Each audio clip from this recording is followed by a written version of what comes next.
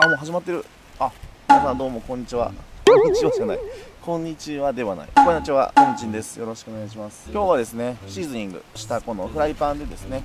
まあ、せっかくならね料理を今日バンバン作っていきたいなと思ってるんですけども、まあ、せっかくなんで岐阜の郷土料理をねいくつか作っていこうと思いまして今日はその1回目ということで漬物ステーキというものを作っていきます。いわゆる漬け捨てですね。漬け捨て。漬物ステーキ。イカのカズさんのねカズ飯で、えー、作ったんですけども自分のチャンネルでは作ってませんのでね。今日はちょっとそれを作っていこうと思います。漬け捨てするならね、えー、ご飯が欠かせないっていうことで、えー、ご飯も今日はちょっと炊いていこうと思います。ちなみにあのご飯に関してはね先日カズさんとマギンさんめちゃくちゃ褒められましたんでルームキャンプ部のご飯係と言ってもいいでしょう。あそっか。でも今日は水につけるのが遅かったな。よ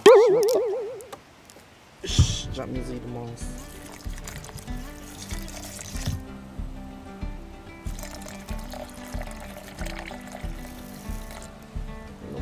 はい OK じゃあこれ水ね、えー、しっかり入りましたんですぐにね、えー、ご飯炊くわけにいかないのでちょっと蓋をして30分ぐらい放置だね。漬け捨てができた頃にはいやタイミング的に違うな。今日はちょっとご飯多分今日の動画では間に合わないと思う。漬け捨てをねじゃあちょっと作っていきましょう。漬け捨てというのは漬物のステーキなんですけども白菜がうまいですね。水気があるんで水をちょっと切っていきます。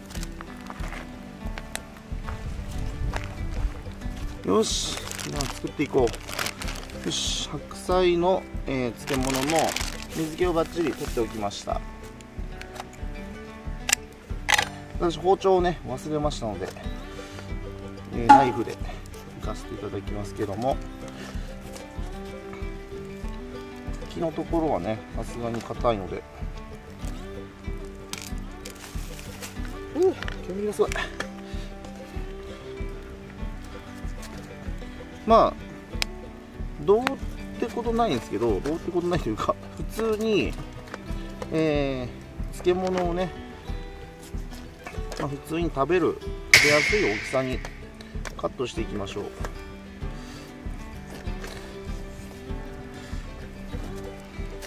もちろんね、えー、まな板があればまな板の上でやっちゃってください気持ちいいなこれ。切れ味がいいな。すがモーラナイフ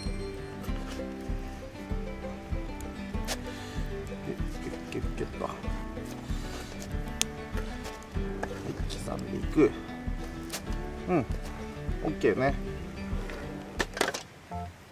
もちろんそのまま食べても美味しい。うんうまい。うまいわ。うん美味しい。美味しい白菜の漬物ですね。でそうしましたら次はですね、えー、これを油でこう炒めていくわけですね。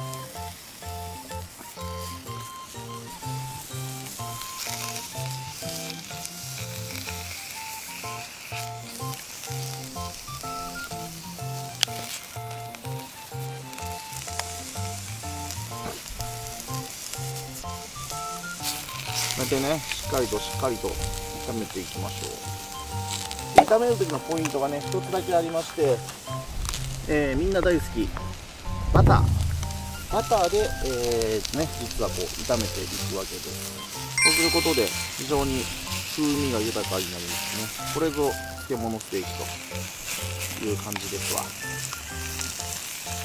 ここで結構その塩コショウとか醤油とかる人はするみたいですね、まあ、僕はもうこの元々のお漬物の塩分でねいいと思うんで僕はこのまんまうんいきます。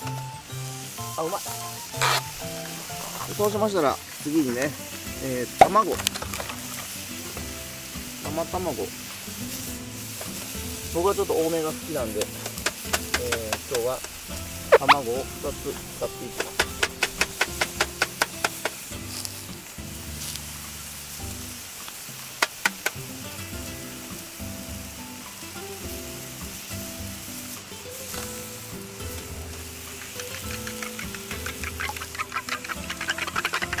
卵ね。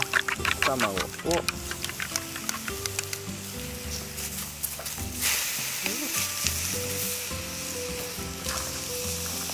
う。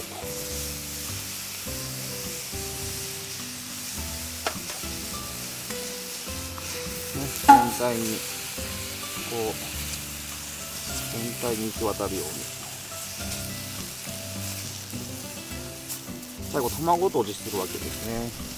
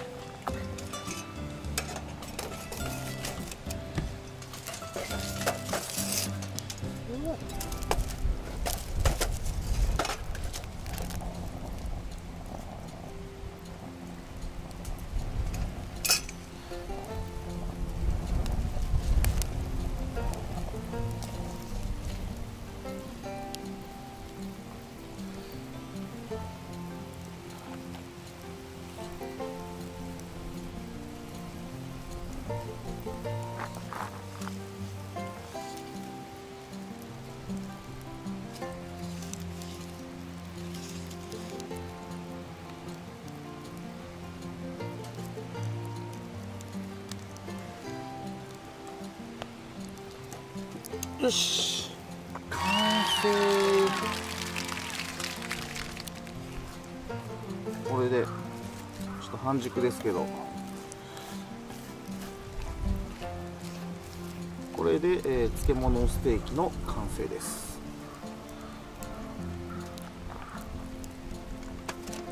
じゃあ ちょっとこの状態でいただきます。あそうだ。こちら、えー、鰹節をかけるとね、さらに美味しくなりますので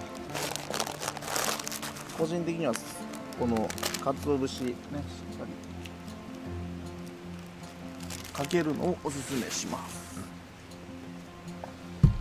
ほらこんな感じですね。これ醤油垂らしてもうまいんですけどね。じゃあちょっといただきます。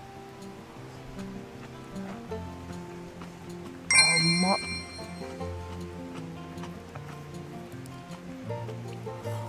うん。出来たて熱々。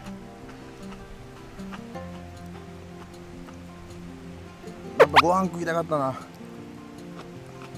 うんうまっ。これキャンプでいいな。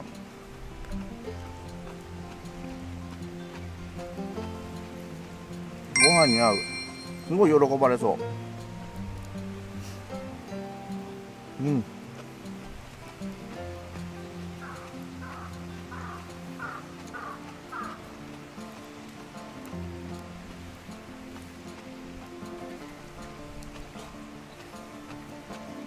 まい。これご飯があったらめちゃくちゃ食えそう。うん。ご飯が止まらないんですよこれ。なのでちょっとねこれ残しといてご飯炊けたらまたねこれご飯にかけて食べたいと思います。という感じで、えー、岐阜の郷土料理。漬物ステーキですね。漬物とバターと卵と鰹節。こんだけあればね、えー、簡単にできますので皆さんもぜひお家でもしくはこうキャンプでね、えー、ぜひ作ってみてください。それではご視聴ありがとうございました。